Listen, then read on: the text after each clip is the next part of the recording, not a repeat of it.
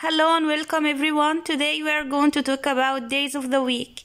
Saturday, Sunday, Monday, Tuesday, Wednesday, Thursday, Friday,